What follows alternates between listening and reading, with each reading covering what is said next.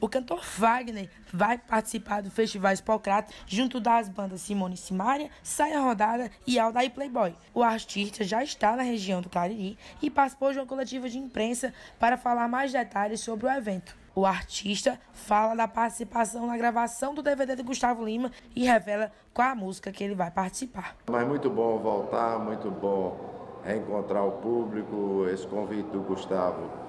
Fiquei muito feliz porque ele escolheu uma música histórica do meu repertório, que vem se renovando. Eu já gravei com o Zé Ramalho, já gravei com o Amado. E com o Gustavo é uma, uma linguagem diferente e mostrar para o público dele também um pouco da, da nossa história. Além disso, Fagner fala detalhes sobre sua biografia que foi lançada recentemente. O livro ele foi muito importante no sentido de que está humanizando um pouco a, a, minha história. Muita gente não sabia de, de, coisas que eu venho fazendo ao longo dos anos. Né? São aventuras mesmo, são coisas que poucos artistas conseguiram fazer.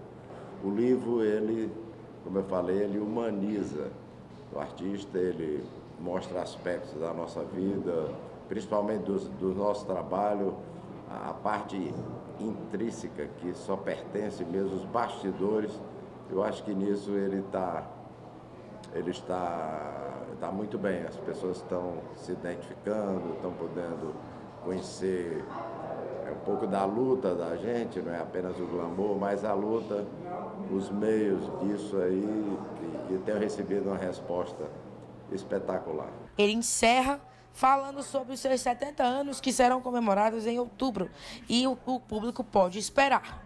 Tem, nós estamos pensando, quer dizer, eu tenho um trabalho praticamente pronto aí com, com o Zeca Baleiro, com o Renato Teixeira, com o Moacir Luz, então eu venho aí com o Caio, que fez o famoso Coração Alado, nós estamos inaugurando uma parceria.